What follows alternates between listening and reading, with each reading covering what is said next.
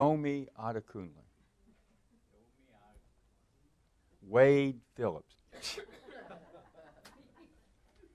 it has no Wade Phillips, no color in it, no juice, but Yomi Adekunle. You know, uh, uh, we was getting a biscuit where? Hardee's. Hardee's. And they're, you know, they're kind of fascinated with Yomi. They're, they love that name. There was one lady commented on it. But then this other lady says, um, You're from Nigeria? I wonder if you might know Danny Schroeder. and Yomi goes, No.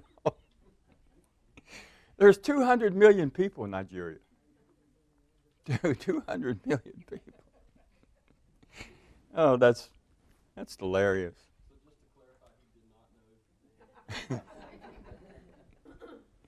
he said, I don't think so. oh, I, had, I had a ball over that one. the word mystery is not in the Old, uh, in, in the Old Testament. and the principle of, the, of what mystery means is not in the Old Testament. But it's a word that's commonly used in the New Testament. mysterion. Uh, but, but an equivalent word to that in its meaning is not in the Old Testament. So I say that to say the word secret is in the Old Testament quite prolifically the word secret, and God reveals his secrets to his servants. And he reveals his secrets to the church, to his people. And he reveals his secrets to his prophets. so the idea of revelation is in the Old Testament, and uh, even the word reveal. Uh, so, what is the definition of a mystery? It is a revelation or a secret that has become known. And that kind of explains uh, the Old Testament in contrast with the New. That under the terms of the New Covenant and the experience and power of it, mainly that the Holy Spirit can now dwell in you and you have a quickened mind and a quickened spirit under the new covenant in Christ, so that now you can comprehend uh, the revelation of God that was real in the, revealed in the Old Testament. So that kind of comes, uh, you know, the old saying, or it's a common saying, uh, that the uh, New Testament was hidden in the Old Testament, and the Old Testament is revealed in the New Testament. So that makes it uh, a, a radical difference. Yet, our covenant is right. Will you sincerely, in the presence of God and these witnesses, take this Bible, all of it? Am I okay? Uh, you take this Bible as the Word of God, all of it, like the Lord says to John, eat all of it and, and some, some of the other prophets. Uh, and man does not live by bread alone, but by every word that doth proceed out of the mouth of God. Um, and so we are commissioned in, in the New Testament, the church is commissioned to go in all the world and preach the gospel. And Matthew says, This gospel this gospel, the one that Zion Assembly is enlightened to, this gospel. And uh, there's a lot of people involved in missionary work, but they're, they don't, they're not carrying the whole message, and some of them not the true message. I mean, in our former fellowship, it came up more than one time. Uh, they said, Brother Phillips, we don't feel like you're with us now. I said, Well, in a lot of ways, I'm not. And they said, Well, one time, one of the brethren there said, We don't feel like you want us to succeed in our missionary work. I said, Yeah, I don't. I don't want you going around the world telling everybody you can have somebody else's wife or husband. I don't want you going around the world misrepresent what repentance is and sanctification is. No, I don't want you to succeed. And if he'd asked the Apostle Paul that, he would have said, No, I, I want your whole work to burn down. Is that what he said? That if you build upon this foundation, wood, hay, and stubble, it will burn up. What's happened with us with our former fellowship in the last 20 years? It's burning up. All the wood, hay, and stubble is burning up. And that's what purified it through Zion Assembly. And so I'm not I'm not glorying in Zion Assembly beyond what I should because we stand by faith in Zion Assembly. and we it's up to us to keep the faith. Because remember, we're still just betrothed to the Lord. We're not married yet. And if you don't remain uh, faithful during your betrothal till He returns and receives you until him, to Himself, that's marriage talk. I'm going away. I'm going to prepare a place for you in my Father's house. I'll come again, receive you unto myself. It's sort of like Paul talking about winning Christ. That's marriage talk. You win your wife, you win your husband. And he talks about winning Christ as a companion, eternally as a companion. And Jesus feels the same way you do. Well, uh, he wants to make sure that you're going to remain faithful. So it's a fearful thing to stand at the altar. Say, you, you think the church is formed by a covenant? Well, I, I tell them usually, well, you must. You're still marrying people. That's, that's the, as a young man marrieth a virgin, so shall thy sons marry thee. Isaiah 66, excuse me, 62 and 5. As a young man marrieth a virgin, so shall thy sons marry thee. Brother Burnett tells his children, he said, even when you're right there at the altar and you're ready to say, I do, if something comes up and you're not sure, I'll come and get you right there. I believe he would. I'm not even sure if the, if the son or the daughter's trying to get married, he's not pulling away. no, I want to try it. no, because how serious, how serious it is and how sober thinking it is about getting married. And so, being a member of the church is that way. But you have to have a vision, we say that, an understanding of the church before it really has any deep meaning to you. if you don't see the church uh, as the scripture presents it as something sacred and holy and special and peculiar to God, and uh, where God uh, it becomes a dreadful place to interpret God's word, to be the pillar and ground of the truth. Uh, then the, you'll, you'll never take seriously the idea of church. And the world doesn't have the vision, and they don't. They think you can go over here and have a prayer meeting, and that's a church. Or you can go over here and have a singing convention, that makes a church. Uh, no, the church is uh, so much more than that. Not even something like baptism can make a church. Because baptism has no explanation of things that you believe in and a commitment for you to live by these standards. Baptism doesn't do that. We, you, you, know, in the name of the Father, Son, Holy Ghost, and you come up, and that's it. So I guess you might come up with believing in the Trinity, which we're going to talk about in a minute. But uh, you have to have an understanding, not only with you, with God, but you all with one another.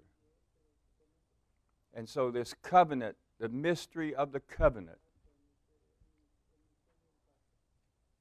and it's God that has ordained that, that mystery. now, when when does he say, and the two shall be one flesh? And he makes of the two, he makes of the two one flesh. And it's the moment you make that covenant commitment. And uh, you can even be married without, in some extreme cases, just to make the point, you can even be married and not capable of the conjugational act. People have got married on that basis because marriage is so much more than just reproduction. It's, it's uh, the Catholic Church says that only, the only legitimate reason for a man and woman to come together in conjugation. Am I saying that right, conjugation? No. The conjugal act. I know it's conjugal. Sex. Sex act. I, I, felt liberty in that.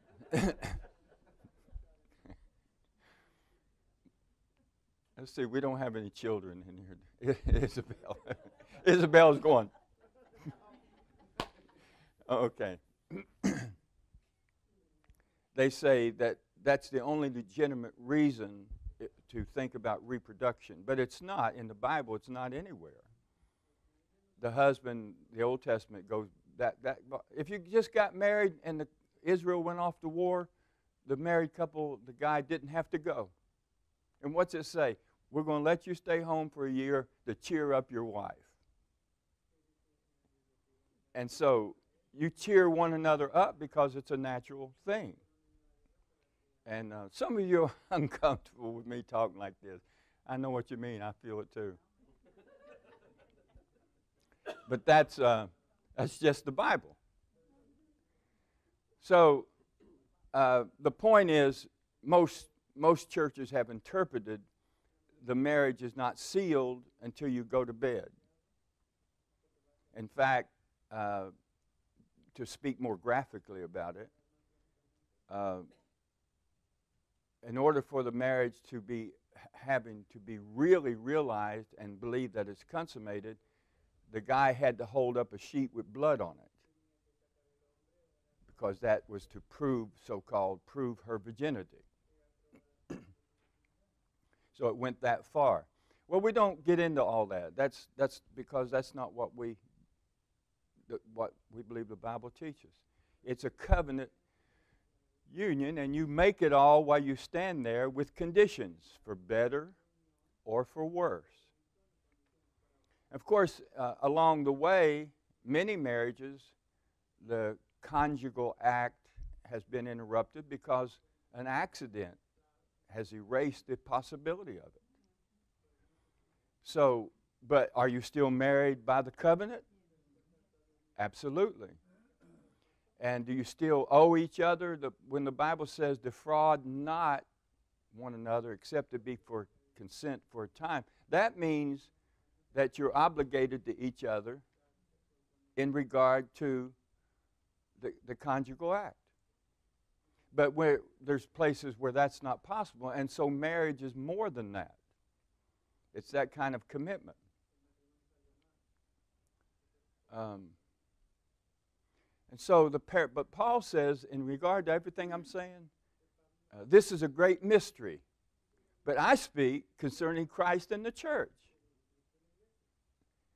we're flesh of his flesh, bone of his bones. That's what Adam and Eve. Adam a type of Christ, Eve a type of the church, um, which the Bible plainly teaches. 2 Corinthians chapter 11, verse 2 and 3. so I, I see some wondering about things. I just obviated several questions, apparently. Is there any questions up to this point right now? Anything that need clarified? Want me to get off the subject? I'm not. Um, so, your flesh of his flesh and bone of his bones, but I speak concerning Christ and the church. So, when does that union that God honors because he determined uh, it, the basis of it, the covenant? Uh, it happens at the moment you say, I do, I will. And if you look at the covenant, what made the church the church in the beginning, let's, re- let's look at it. Acts 19, verses 5 through 8. Hurry.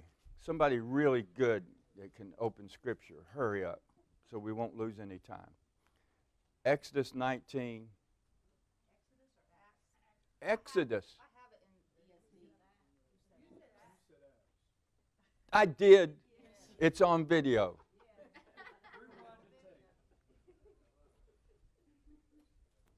We'll turn to Acts 19, 5 and 8. No, I'm kidding. Exodus 19, 5 through 8. And this theme is carried all the way through. Now Uh, therefore, if you will indeed obey my voice and keep my covenant, you shall be my treasured possession among all peoples, for all the earth is mine. Hold on. Okay, that's good. If you take this covenant, then you shall be my special treasure or my peculiar people. What's peculiar mean? It's not what we've developed it to mean, like, like Brother Dale, he's, he's peculiar. It's, it's outstanding underneath the tree. yeah. Or Harris, you know, he's peculiar, meaning weird. So it doesn't mean that. Doesn't mean that. It means uh, possession, that it's the only one. So your wife is peculiar to you in, in that she's the only one. And um, the, what makes that? The covenant, the commitment, for better or for worse. And everybody still uses this, even the people don't mean it.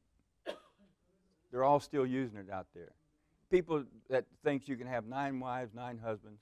I mean, I'm talking about religious institutions now teaching that prolifically, commonly, boldly, because the church means nothing anymore to them because marriage means nothing to them anymore.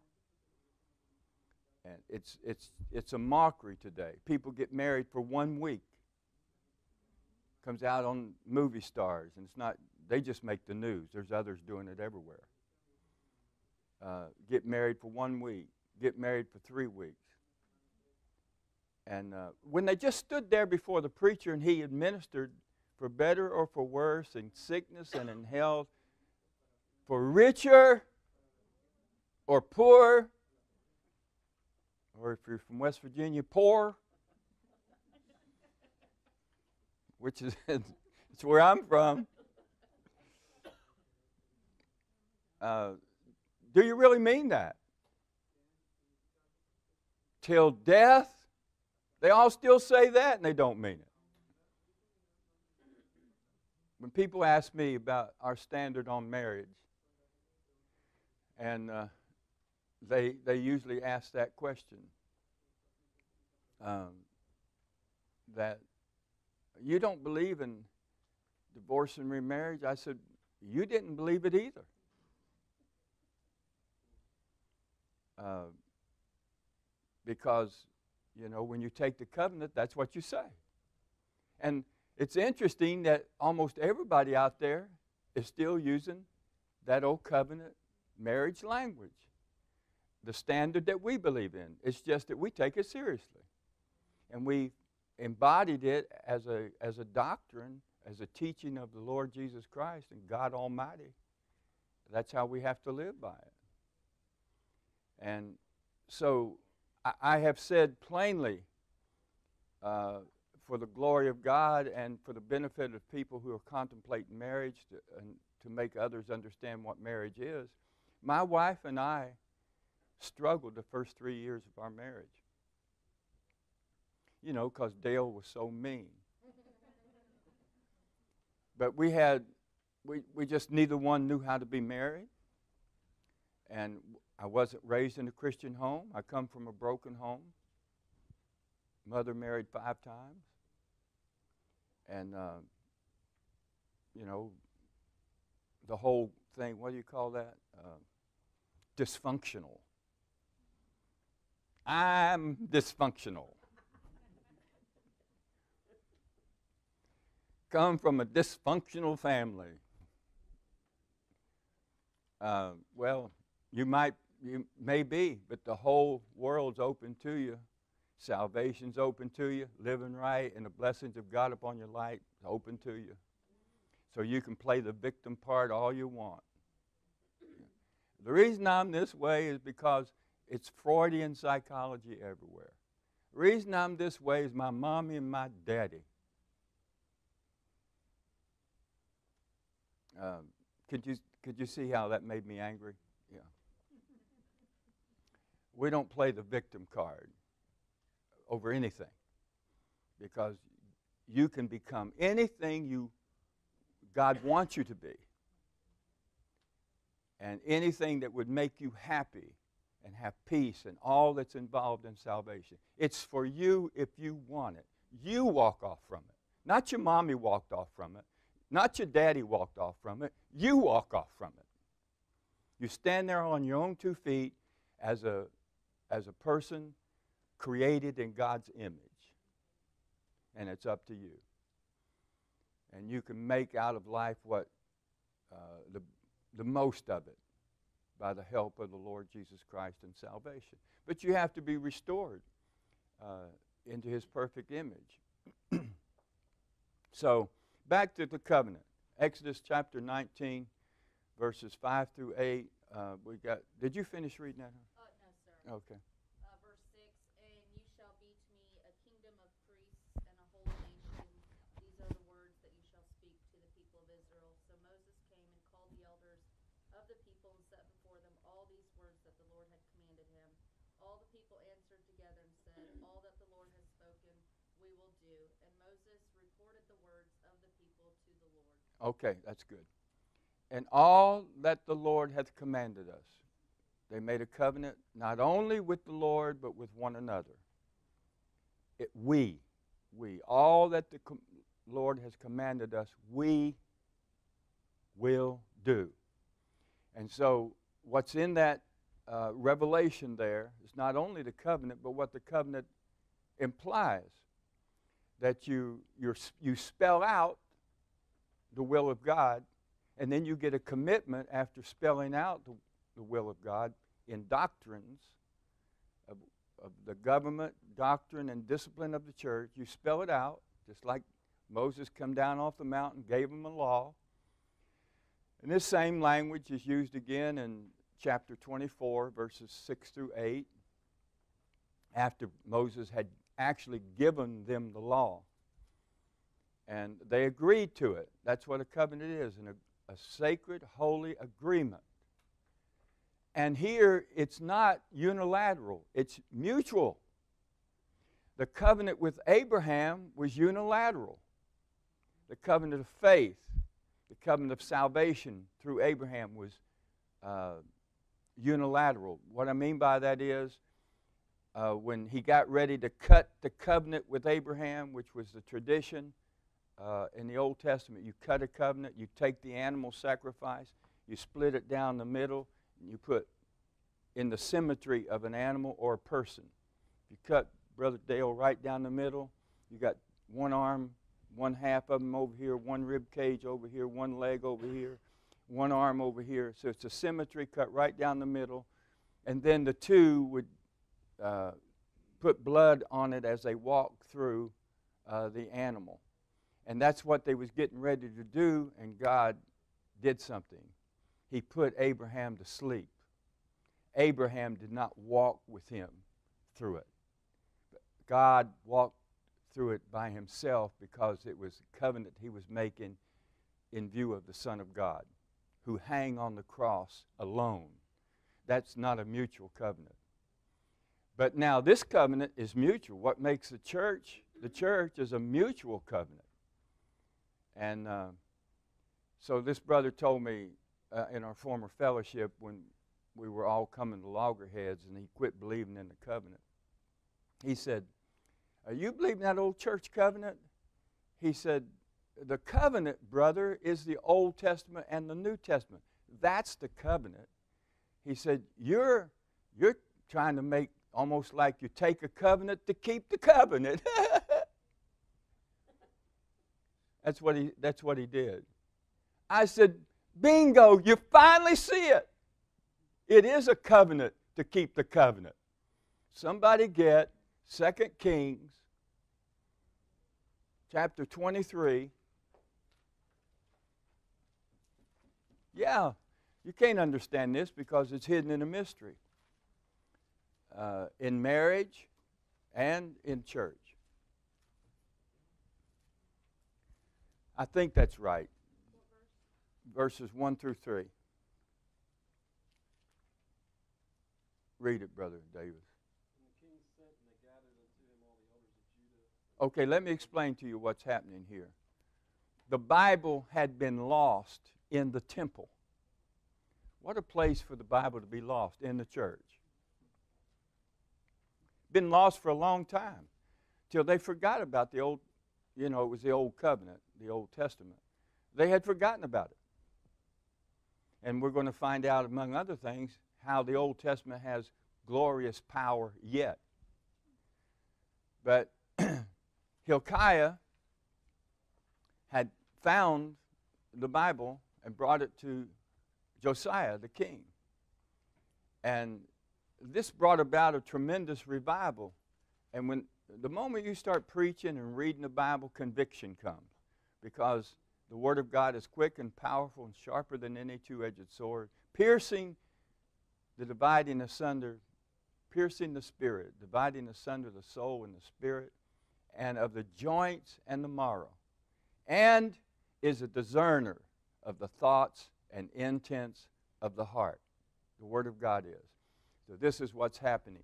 So then, what do they do? And the king went up into the house of the Lord, and all the men of Judah, and all the inhabitants of Jerusalem with him, and the priests and the prophets, and all the people, both small and great, and he read in their ears all the words of the book of the covenant which was found in the house of the Lord. Okay, so all the words, read all the words of the Old Covenant.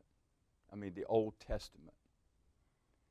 And uh, so that took some time, but because it was precious, every word of God is precious. People today don't even, uh, I'm just going to preach along with this today.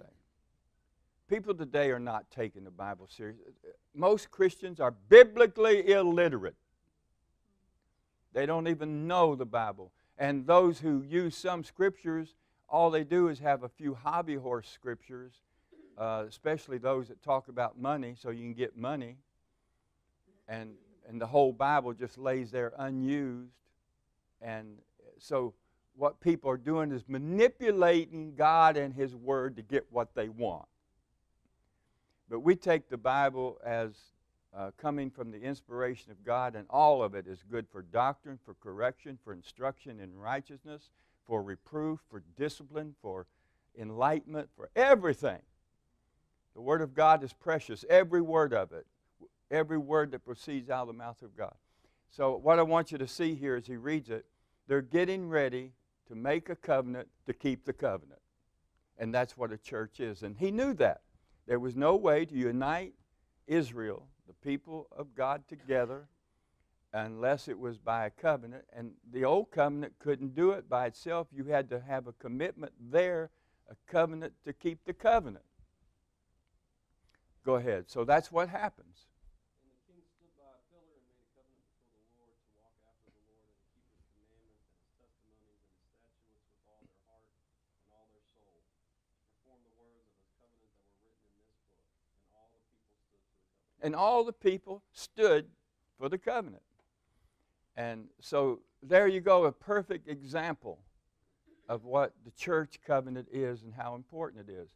It's a mutual, it's a mutual, I'm on a roll right now. It's a mutual covenant. yeah, go ahead. I just wanted to say, this verse says all the people joined in the covenant.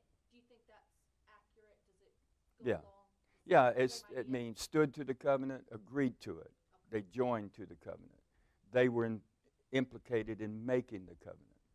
Yeah, that's good. And I like the word join, not necessarily in this context by itself, but you join the church. You believe you, like West Virginia guy said, you believe you join a church. so after you figure out what a giant is, I after we work through that, I, I said, yes, we do.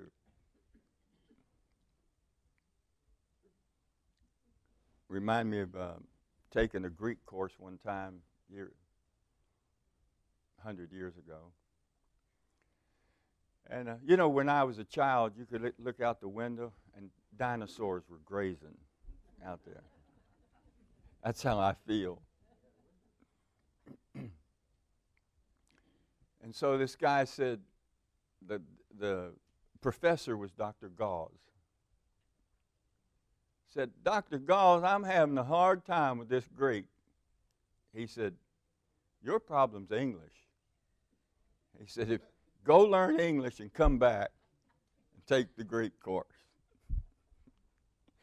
Join, join, the church. Okay, this principle is everywhere. And the principle that the church is married to God is everywhere in the Old Testament.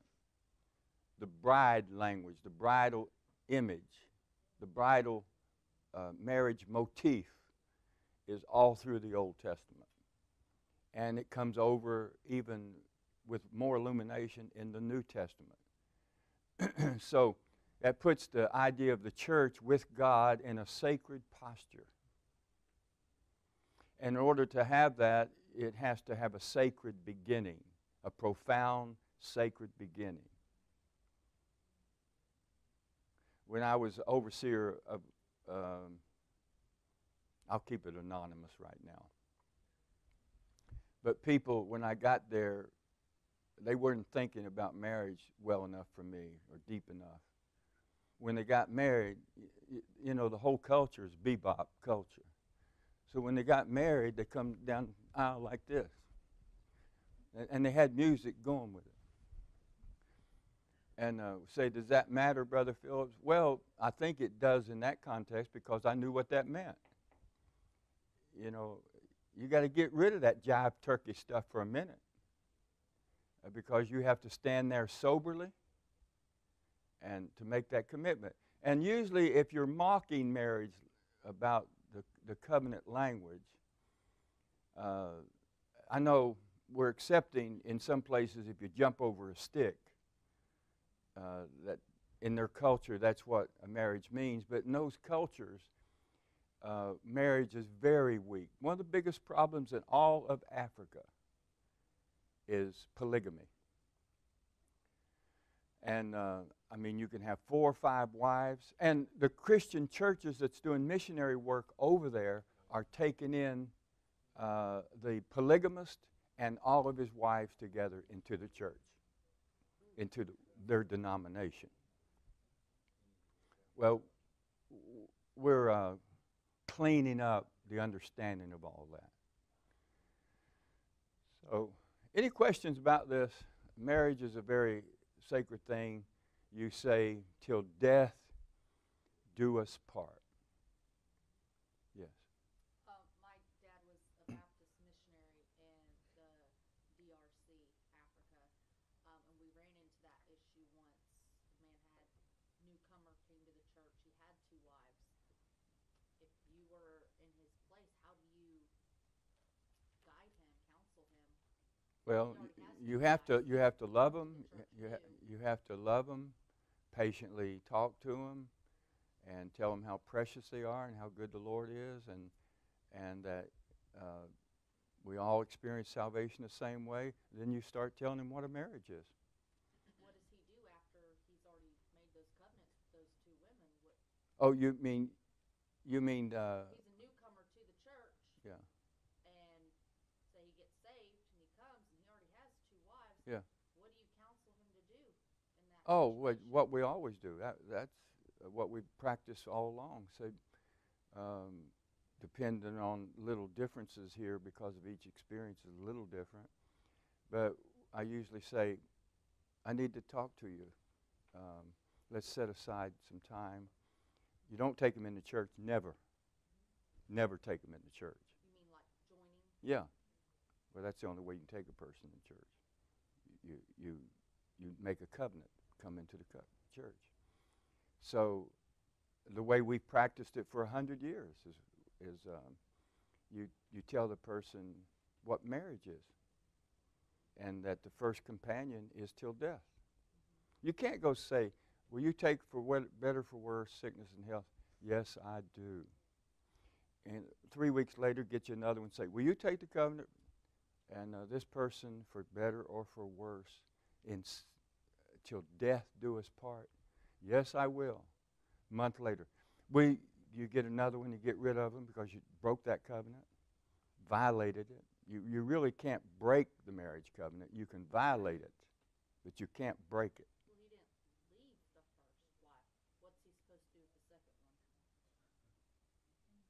one? Oh, well, he probably has some moral obligation to that one. They need to understand that they had broken God's law, that that's not a Christian teaching.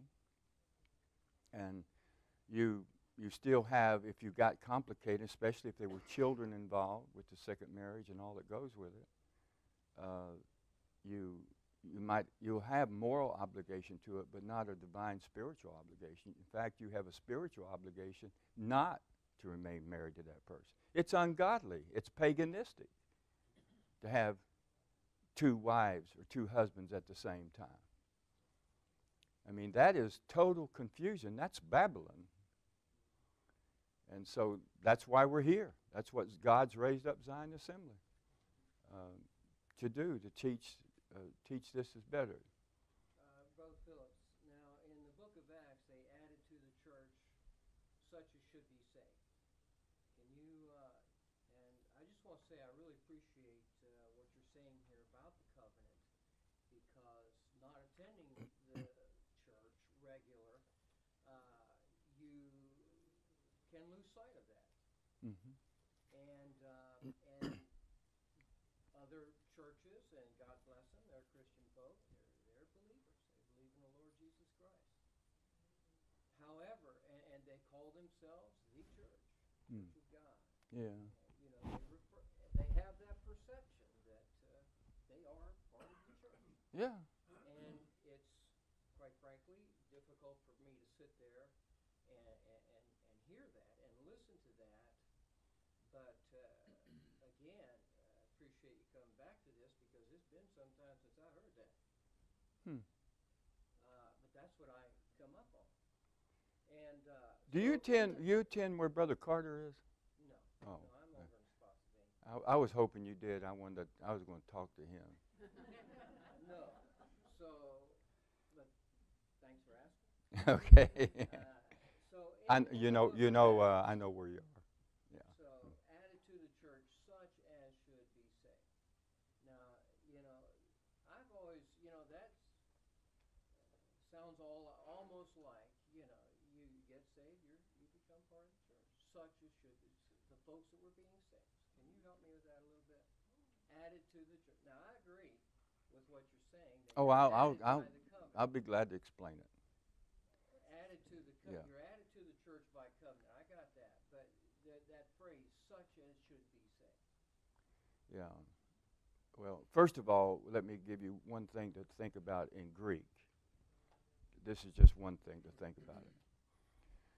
And it may be, uh, church might be in there. To, uh, the meaning might mean church there, ecclesia is not the word.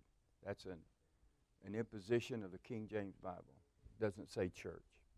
What's the scripture for that? The reference? Acts two forty-seven? Yeah. Um, well, that's just the first thing I'll say about it, but we'll talk more about it. What's your translation say? Acts two forty-seven. Praising God and having favor with all the people, and the Lord added to their number That's it. by day those who were being saved. That's it. Added to their number.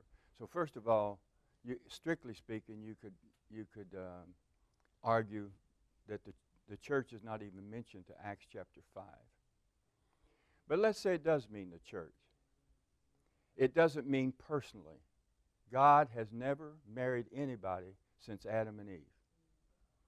God has never married anybody since Adam and Eve.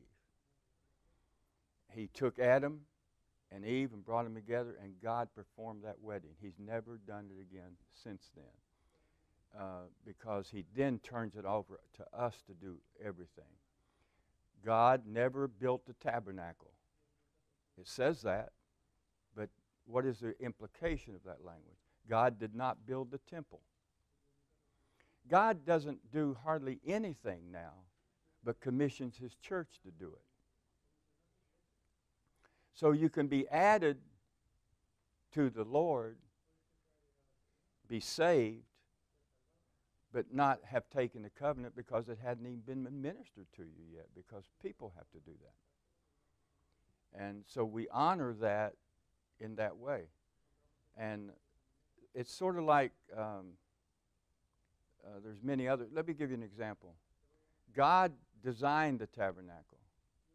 God conceived of the tabernacle, but Moses and the people built it. And same way with the church. Uh, Paul and the apostles laid the foundation. And ever since then, everybody even builds on that foundation, not God. He helps you to do it. So if any man build upon this foundation, wood, hay, and stubble, if any man build upon it, take heed how you build the church of God. So we build the church. We do that, not God. So that scripture is like that. I say, and this is what I use to explain that in, in, the, in the language. I say, and you would say, uh, well, we're building a new house. Are you? Yeah. We decide to build a new house. That does not mean for one minute that you're actually doing the work of doing that. It means God it means you conceived it. You may have drawn up the plans for it. You're the one that wants it. You're the one that's going to pay for it, but you don't do the building. And so that's how I explain that. I have another hopefully quick question, not to try and get us too deep into it. Um, I just wanna understand the, the, what do y'all call yourself? Church of God, Pentecostal? No. Something, did I get it right? Pentecostalism? Um, We really don't call ourselves that, but what we do you call yourselves? Zion Assembly Church of God. What's the short version? Zion Assembly. Zion Assembly, okay. Shorter than that, Zion. Shorter than that, Z. All right, uh, say, um, back to the, the polygamy thing, you have someone that comes to your church and they have two wives. Are you saying that even if he commits just to the first wife and is no longer in that, that after he's been saved and done that, he's not, never allowed to join the church? Not if he's remarried. If he divorced, No, no, no, no, polygamy, you don't divorce, you have more than one wife. I didn't know what you was talking about polygamy. Okay. Okay. Okay, so he, he has his first wife and his second wife. He comes to church, he's being taught, hey, this is wrong. So he sets aside the second wife, takes care of her financially or whatever. He becomes saved. Oh yeah. Is he and his wife then allowed to? Yes, of course. Okay. And they're applauded for it. I- Is the same thing for a divorced person? They come to church, they've been divorced and remarried, but they, they afterwards become saved. Say their first husband remarried. Oh no, you you really you you really changed the subject there. Okay. That that was totally different. Okay. Yeah. Um, Uh, the implication. So you- so you want to know an answer to that I- one? No. No. to. No. You you you explain to the person that this is not your wife or husband in the sight of God. So if And-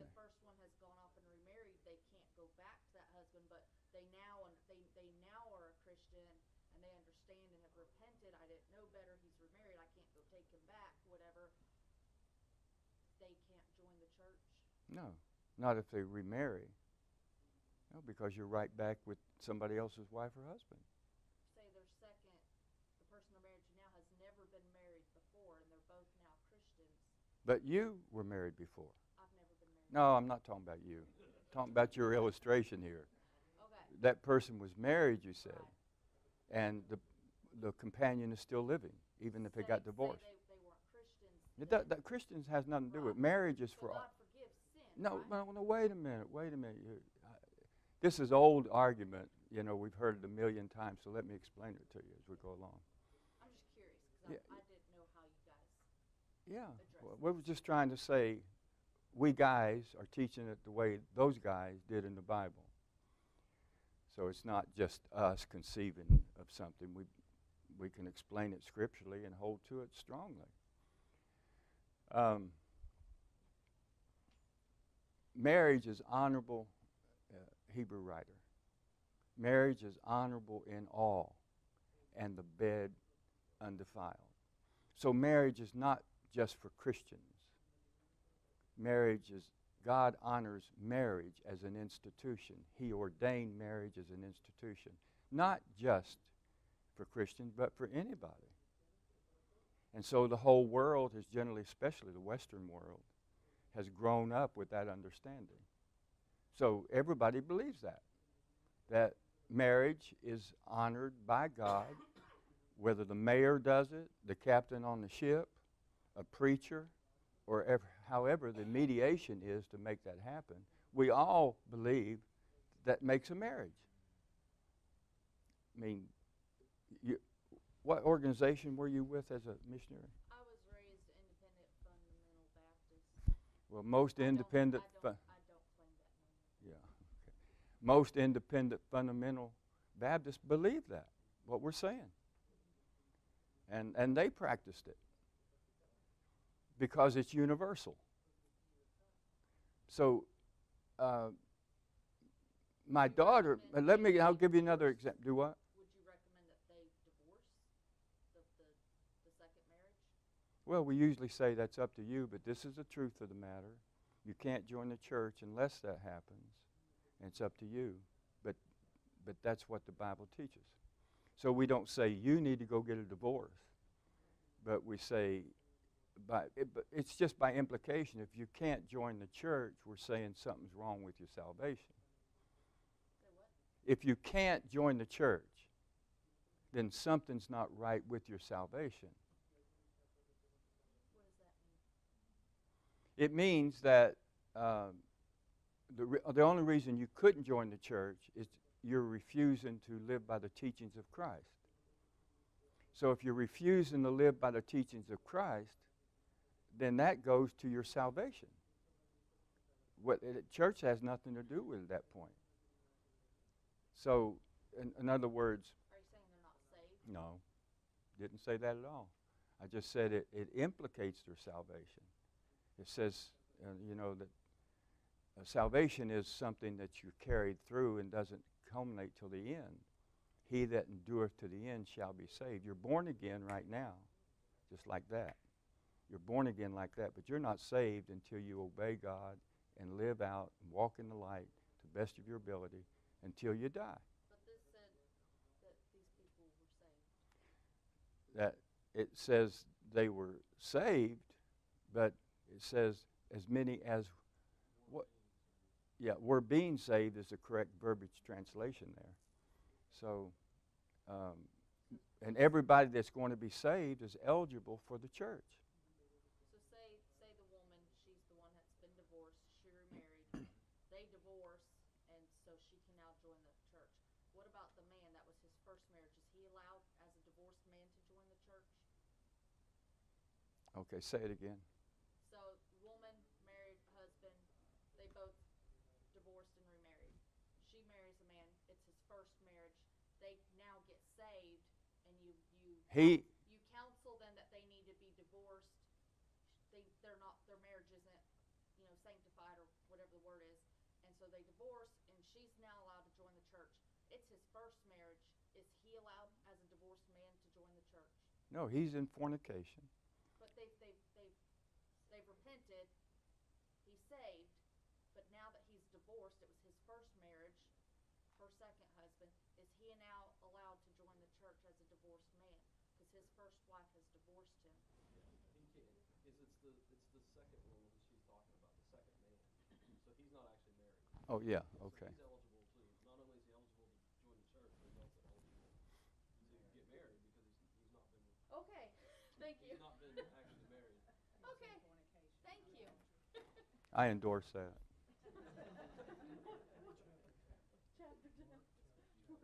Okay. Like I said, marriage is a mystery.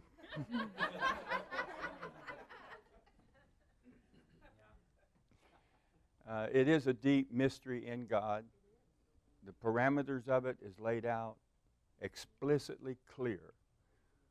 Uh, it's just a all the confusion out there, and you try to bring it in to like here, and you, you go through the same thing over and over and over with everybody because they have the same same exact questions. Uh, what about this? What about that? What about this? What about that? Well, it's simple. Your marriage, and you get married until death do you part. Very simple. Yeah, but what if? Yeah, what if? What? What if? What if? What if? Uh, that's a sacred principle. You gotta, you got, you stand on it when you, you take a covenant and you're making that kind of commitment. And sometimes all that you have left in a marriage is a commitment. And you're honoring God and His institution. Let me give you one more. Boy, we blew this class, didn't we? We got, do what? oh, uh, yeah, we, uh, we got to find another mystery tomorrow. um, my daughter, I just want to complete this. My daughter backslid, lost, went away from the Lord, and got involved with another person. It wound up, which 90% of the time, that's what the divorce is over. And, uh, you know, I'm going to finish this class out on this. How much time we got? Uh, okay, I'm just going to do 10 more minutes of this then. So my, my daughter had and was going to get married, and uh, she said, "Now, Dad, I know how you stand. You're not going to marry us, but you are coming to my wedding, aren't you?" I said, "No, I am not coming to your wedding." I said, "Because a wedding is supposed to be a joyful occasion, and we're supposed to be happy and cheerful, and and um, I won't be." And I said, besides that, you don't want me there. Because when the preacher says, Does anyone here know of any reason they should not be married? I'm going to stand up. And that's when she decided she didn't want me to be there either. But she, she never had talked back to me in her whole life. And she said, Dad, what about forgiveness? What about forgiveness, Dad? I said, What about forgiveness? Why don't you forgive your husband? Why don't your husband allow you to be forgiven? Uh, I said, What do you want? What, what does forgiveness? This is the sneaky language here. What about forgiveness? Meaning, won't God change his institution? How can me forgiving you change the institution of marriage? Are you following me?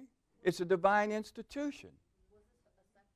It doesn't matter. No, what was your objection to the marriage? She was she was married, uh, backslid. You wasn't listening to me. You had questions going through your mind. She was married, backslid. Along come a spider, another guy, and that no, she was getting ready to be married again. He had never been married before. Yeah, that's right. Yeah. I well, I said that she was married, backslid. So, uh, but people want you to change the institution. That's what. What about forgiveness? They're saying, why don't God change or you change the institution that God made? And we don't have the right to do that. Now, let me tell you about the hypocrisy of not only our former fellowship in this regard, but for all the others out there. They know there's only one scripture they use only one, one scripture. Matthew chapter 5, verse 32, and also 19 and 9. Except it be for fornication. I won't get into their misunderstanding of fornication because it's translated, I'm sure in your Bible, it's translated immorality. And fornication has a specialized meaning. It's usually a sex act, illicit sex act by a single person. The old Webster Dictionary defines it exactly that way illicit sex by a single person. The what? Yeah. Illicit sex by a single person. And um, I said even the old Webster's Dictionary interpreted that way. America interpreted that way. The Western world interpreted that way. Divorce, the flood of divorce and remarriage, is a relatively new thing in the whole Western world. It's about 100 years old. And it just keeps crumbling and crumbling and crumbling. And people want, because it keeps crumbling, want us to compromise with it. Well, we're God's church. You can't do it. You can't be the pillar and ground of the truth and change the teachings of God. So let me tell you what the hypocrisy of this is. They say, "Oh, what about uh, Matthew 5:32? Uh, except it be for fornication." Then they leap from that by opening the door for divorce and remarriage on that basis, and then go to anything. So if your husband uh, uh, abuses you, meaning uh, he hit me today, well, I'm cer- certainly not encouraging any man hitting a woman. But uh, that's no cause for divorce and remarriage. Uh, well, my husband slapped me. Well, she can't cook. And you go on down the line with all these excuses. Who is that doctor famous on the radio of marriage and counseling and all? Huh? Dobson. Brother, Brother Dobson come up with the three A's. Can't find the three A's in the Bible. But his three A's are adultery, abuse, and abandonment.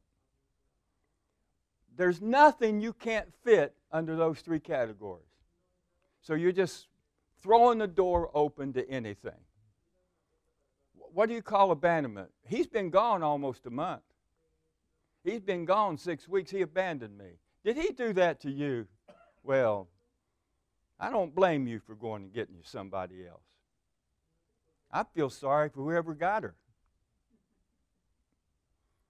Uh, so you can't do abandonment, you can't do abuse.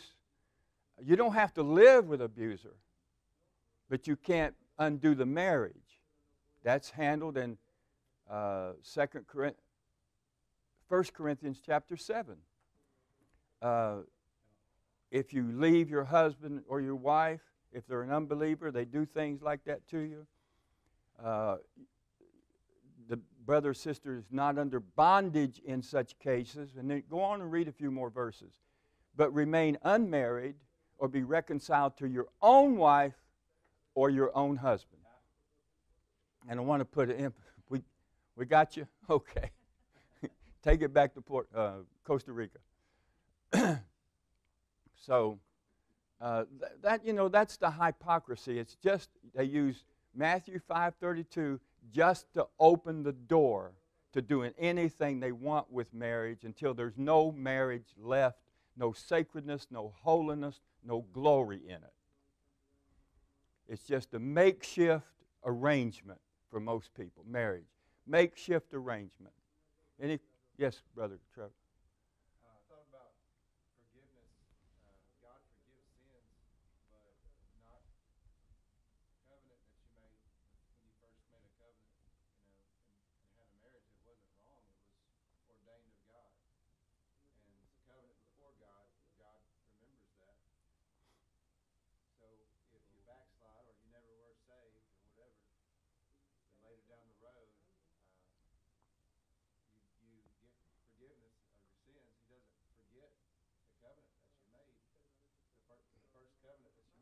The, the, institution's still standing.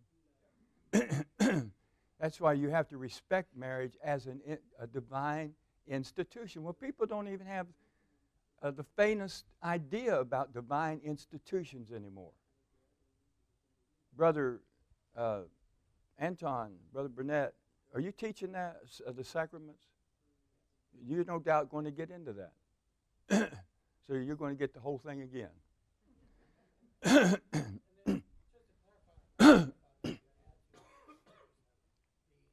marriage is holy. So when we talk about being forgiven of sin, yes, if you committed adultery, you committed fornication, you committed all these acts, you can be forgiven of those things. But marriage isn't a sin to be forgiven. So it's not that, not only is it not a sin to be forgiven, it's not, it's nothing that you should seek forgiveness for. Right. Um, the institution of marriage is holy. Now, people can be married and do unholy things and sinful things, like you said, abuse, different things like that. And you should repent of those things, and you can be forgiven of those things. But marriage itself isn't a sin to be forgiven. Um, uh, so yes, there's forgiveness for everyone, no matter what they've done. And um, uh, but that doesn't eliminate.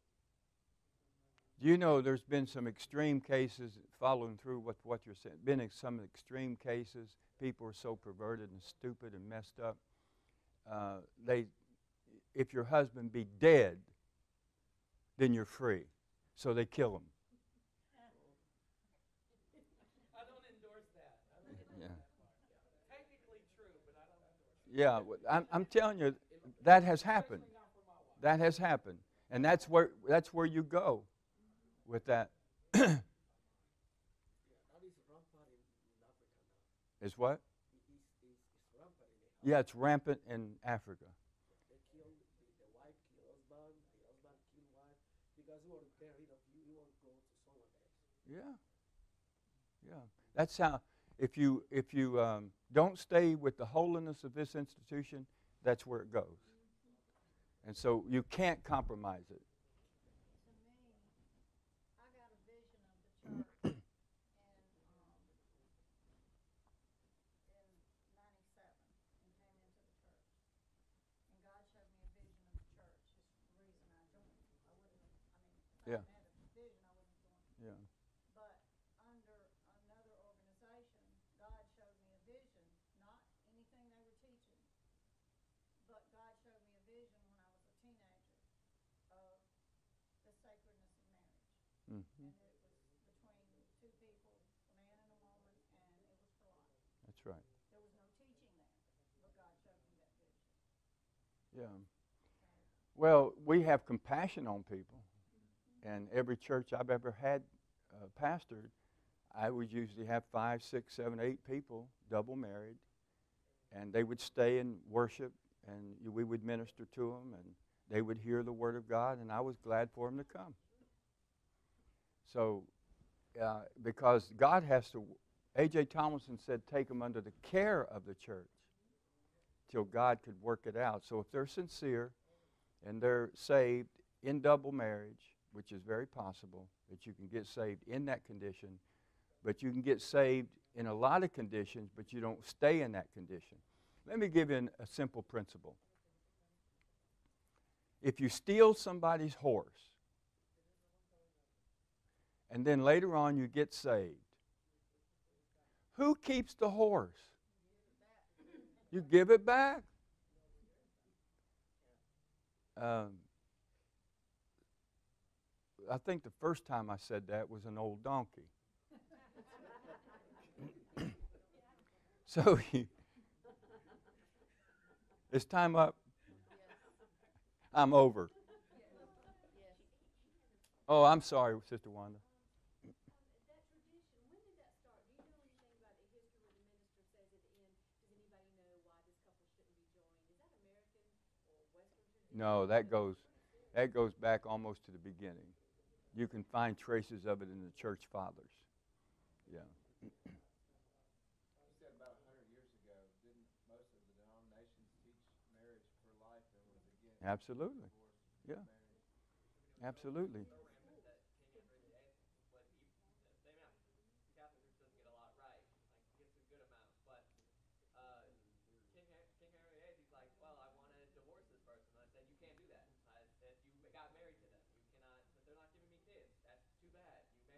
Yeah. He found he tried to find any way he could out of it. Killed him, made his own church saying that it was okay. And so, I mean, But if you get if you get illicit passions for Anne Boleyn, you'll change the whole world to get what you want. I got other languages I use for that, but not on. I, I spoke to a, a Catholic man, and he had a whole binder. He was teaching like a Sunday school, whatever. So we got discussing. I was interested to hear what he was teaching and stuff. He started telling me about the history of of uh, Martin Luther and how Martin Luther wanted to divorce his wife and created a new church. And I said, I'm so sorry to break it to you, but that's the wrong person. He, I said Martin Luther was a monk. He never got married. That was King Henry VIII. Oh well, Martin Luther did get married Did in secret. Yeah, Well, anyway, he, Yeah. the story wrong. yeah. Like, that's a whole different. He had that story wrong. You got Martin Luther wrong there. But Well, but- he was a monk, wasn't he? was a monk, but he sneaked and got married. And you, s- people have been sneaking off getting married for I don't know how long. It's over. God bless you. Have, have a good life.